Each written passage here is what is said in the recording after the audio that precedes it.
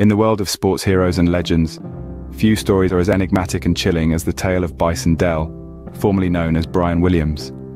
Few athletes are as intriguing, as captivating, as this towering figure once was in the sphere of basketball.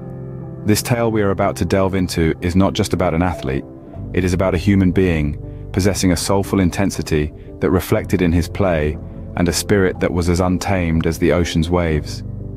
Dele's life was a tumultuous journey, one that involved a dramatic rise to glory that was followed by an equally dramatic and unexplainable disappearance. Born Brian Carson Williams on April 6, 1969 in Fresno, California, he was a formidable talent from an early age. As a child, he demonstrated an uncanny understanding and skill for the game that went beyond his age.